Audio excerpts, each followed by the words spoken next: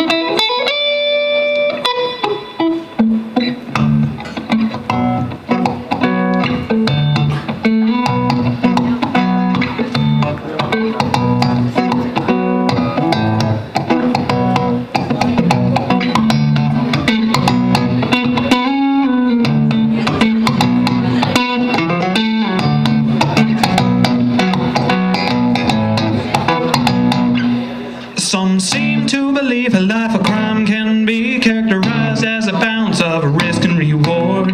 But you can have it all on a silver platter if you eliminate the and maximize the latter, Maximize the loot and scoop before you gotta shoot. Leave not a clue that you were ever there. The cops they wonder why I never blunder when I plunder, looking under every cover. There's no trace anywhere. Fear